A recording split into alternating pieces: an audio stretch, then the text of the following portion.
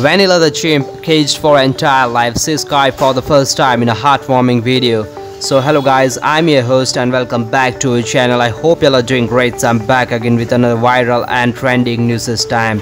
So if you want such latest updates and latest trending news all around the globe, then you are on the right platform.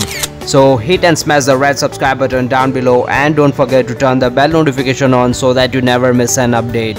So further ado without wasting your time, let's hop into the detail first.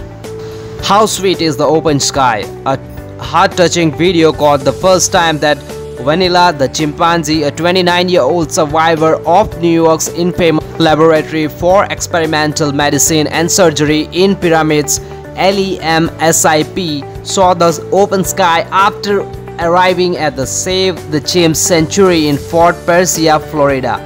Vanilla had never been outside for of a 5 foot square cage or a garage sized enclosure until she moved in and by the looks of it she is spellbound by her new abode. Vanilla lived in a notorious laboratory which was closed in 1997 until she was 2.